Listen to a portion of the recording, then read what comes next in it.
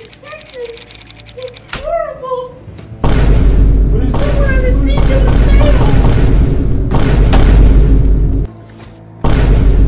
Is this a prank from the hospital? Salt. Salt? Yep, that's right. Salt. You know what? Hospitals don't use salt. I know where it's from. Come on, let's run. Where's your sister? She could have done it. What's her address? 33 Bollocks Lane. Right, got it. Wait, it wasn't you, was it? No. I have to be around here. Splendid, Holmes. Good thing I have my biscuit. Do these look familiar? Oh, those are my other sister and her sugar daddy's ears. We go way back. Sugar daddy.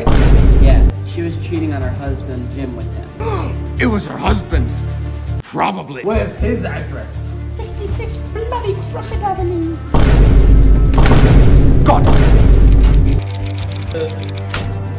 Sorry. Recognize these, bum boy. Ah, I killed my wife, and I killed her boyfriend, and I'll kill you too. She tried to kiss me, but I'm married. I'm married.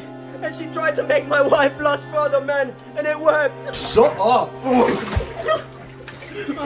What? What? I didn't do nothing. That's very sad, Quite unfortunate. One could say it was.